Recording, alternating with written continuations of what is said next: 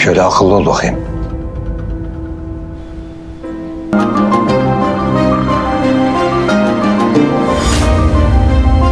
Kan Çiçekleri dizi analizimize hepiniz hoş geldiniz. Her baharın sonu muhakkak ki kara kıştır.